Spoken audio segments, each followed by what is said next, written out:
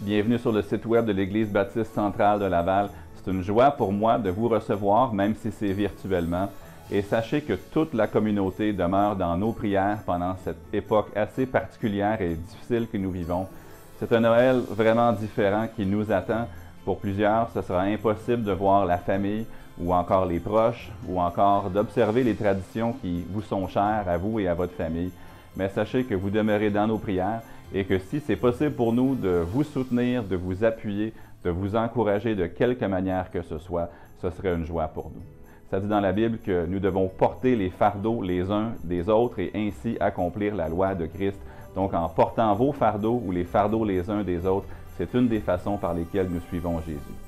Jésus nous rappelle dans Matthieu chapitre 28 qu'il est avec nous tous les jours jusqu'à la fin du monde. Donc peu importe nos circonstances, si nous le connaissons comme notre sauveur personnel, si nous l'avons reçu dans notre vie, eh bien nous avons sa présence avec nous et son appui et j'espère que c'est le cas pour vous.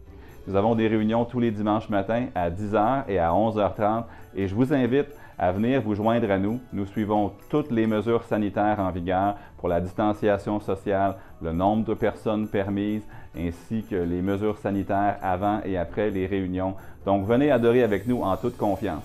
Si ce n'est pas possible pour vous d'être là, sachez qu'à 10h le dimanche matin, nous avons une diffusion en direct sur Facebook et YouTube.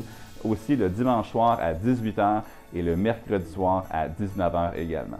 S'il y a quoi que ce soit que nous puissions faire pour vous aider ou pour vous encourager, vous allez trouver nos informations de contact sur notre page web ou encore sur nos autres plateformes numériques.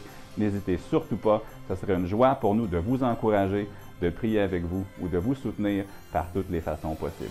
Alors, de ma part et de l'Église baptiste centrale de Laval, je vous souhaite un joyeux Noël en espérant vous rencontrer bientôt.